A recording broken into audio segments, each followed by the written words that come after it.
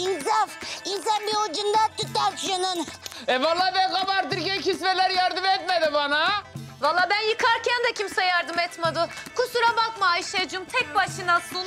Hemen sizden gelecek. Hayır Allah'tan gelsin. Ben taşırım tek başıma. Daha hızlı. Daha. Daha.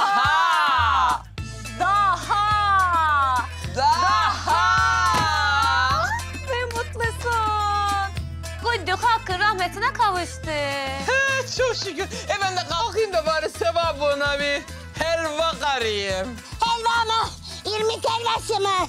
He. Bak ya bak gırtlak dedin mi vallahi bu mezarından çıkar gelir midesiz.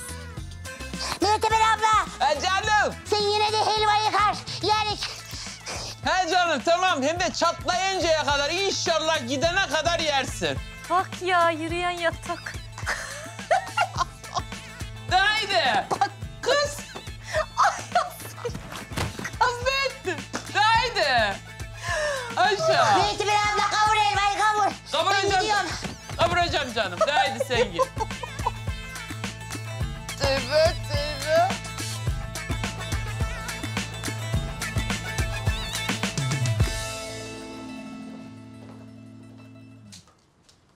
Ao.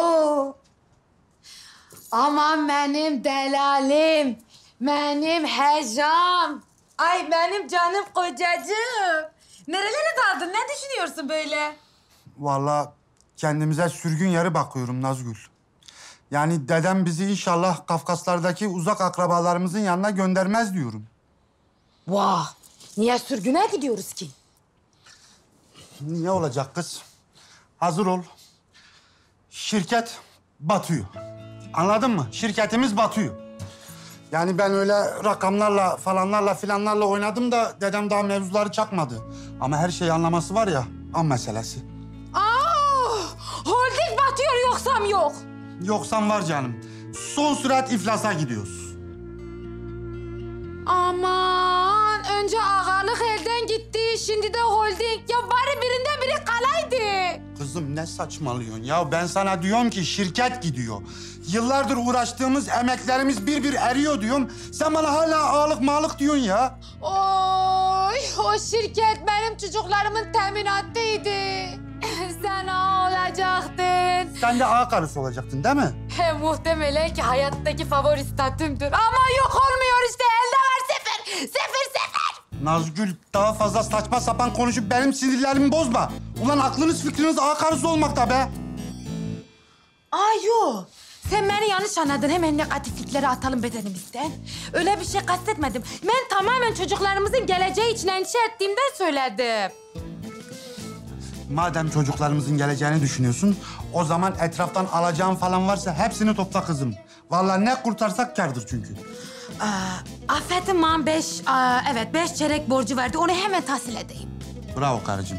Helal olsun. Bu tarihi manevrayla ailemizin geleceğini kurtardın ya helal olsun. Kız beş çeyrek ne? Bizim ailemizde çeyrek yarım mı var? Vay niye? Beş çeyrek de beş çeyrektir. Hem düşünüyorum da acaba bizim cımminin baligini kestirsek mi? Yani sünnetten de en az yetmiş çeyrek gelebileceğine inanıyorum ben. Öz, öyle şey olur mu kız? Koskoca ağa torununa çeyrek mi takılır? Ben hepsine tam takmıştım. Ayo, biz hepsine çeyrek taktık. Nazgül saçmalama, hep tam parası verdim sana.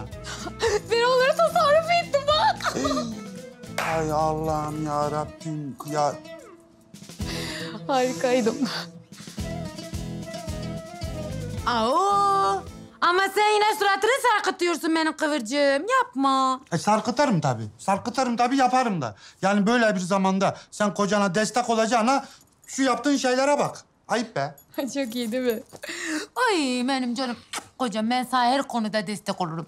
Öyle öyle öyle. Bırak, yapma, Dur istemiyorum. beni gıdıklayayım vallahi sen. Yapma, yapma. ya gelsene bir şey söyleyeceğiz ama herkesten gizli. gel gel. Ya gel hadi diyorum ya. Ulan bunu sen iste.